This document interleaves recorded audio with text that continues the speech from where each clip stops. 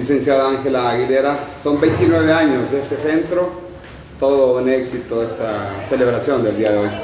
Así es, Gerardo, pues gracias a Dios celebramos lo que son 29 años de fundación de nuestra institución, ¿verdad? Pues con mucho orgullo de formar parte de este legado de amor y de servicio a las personas que lo necesitan. Hay tantos testimonios de personas que a través del centro han podido realizar sus sueños de seguir adelante. Así es, Gerardo, tenemos, bueno, en la trayectoria de los 29 años son miles de testimonios, ¿verdad? De todas las personas que se han rehabilitado y que gracias pues al servicio que prestan nuestros compañeros de trabajo, pues estas personas se han integrado, ¿verdad? A una sociedad digna, a realizar sus actividades cotidianas.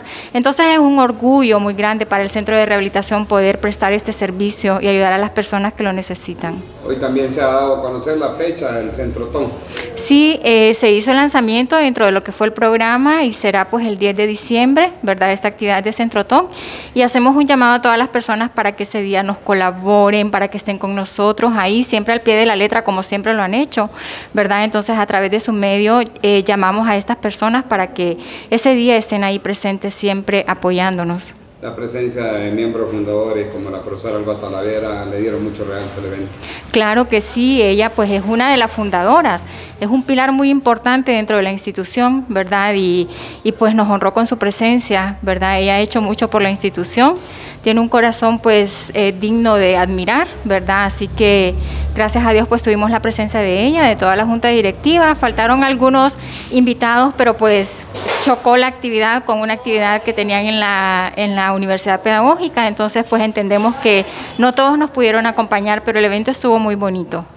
La presencia de Carlos Felipe Castillo, representación de su familia, Teledaní Canal 9, que han dado el aporte permanente a este centro de rehabilitación es muy importante. Claro que sí, también muy importante la presencia del licenciado Carlos Felipe, ¿verdad? Ya que pues él sigue el legado de su familia, ¿verdad? Pues don Carlos, su papá, fue uno de los fundadores, una de las personas que ha luchado arduamente por el bienestar de la institución, entonces fue también un honor muy grande contar con su presencia.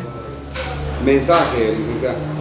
Bueno, mi mensaje para todas las personas es que sigamos apoyando al centro de rehabilitación. Necesitamos mucho de ustedes para podernos mantener en pie, ¿verdad? Así que eh, por medio de, de, este medio, valga la redundancia de palabras, les hacemos el llamado para que se aboquen a nuestro centro, para que lo visiten, para que vean todas las necesidades que tenemos, ¿verdad? Y sea cual sea el donativo que ustedes pues nos aporten, será de mucha utilidad para nosotros.